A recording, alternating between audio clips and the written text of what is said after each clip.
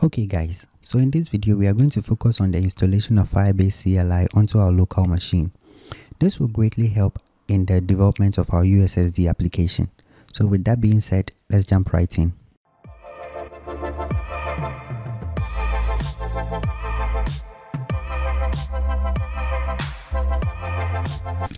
Okay, so the first thing we need to do is to check if we have Node uh, installed on our computer or not.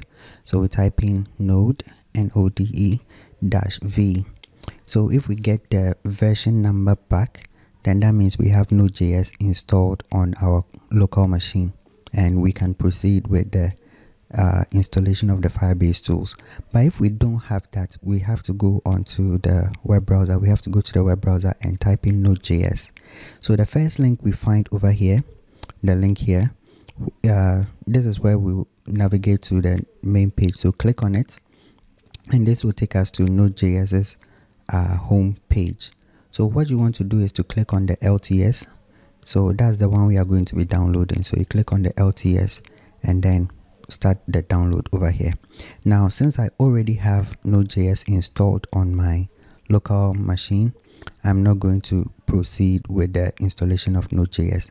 But if you don't have Node.js on your computer, I would advise you to uh, stick with this and then install it on your local machine. If you need more information, there are a ton of videos on YouTube that uh, teach how to install Node.js on your local machine. So that's just it. You should go uh, you should try and install that. And when you are done you can come back to this video right? So let, let's head back to the terminal.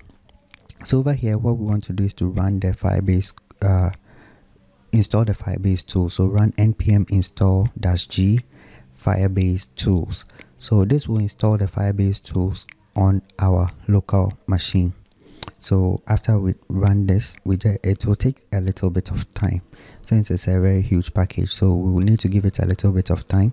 Now after this is installed we can go ahead to log into our firebase account and then go ahead and set up the hosting uh, and create the cloud functions and all those other good stuff.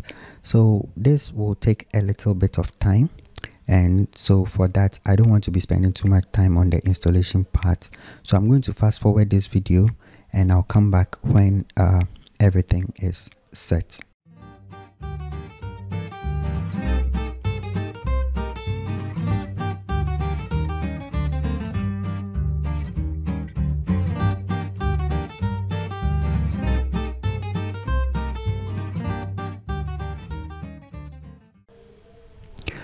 right so the installation is done and we are done uh, we've installed the firebase tools onto our machine. So to check if this is done we run the command firebase uh, tools dash version dash dash version firebase tools dash dash version. And if we get the version number back then that means we've successfully installed the firebase tools onto our local machine great so we got the number back. So the next thing we need to do is to log into our account. So we run the command uh, firebase login i believe. Yes. So it's firebase login firebase space login. And this will redirect us to uh, our main page. So we get the question whether we want to allow firebase to collect optional information uh, so it collects the CLI and uh, some error reporting. So if you want to enable this, you can click yes, or you can type yes, Y for yes, or you can type N for no. So I'm going to allow yes because sometimes I want to send some information back. So to help with the error reporting and stuff, right? But it's not compulsory. You can leave it at no great. So after we click on yes we get uh, redirected to the web page where we need to sign into our account. So we just uh, come down here. We have to uh, these are the things they require. We click on allow and that's that. We are signed into our CLI that's easy.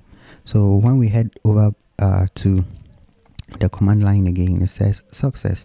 We are logged in as code with sheriga.com uh, codewithsheriga at gmail.com. So with that being said, we are done.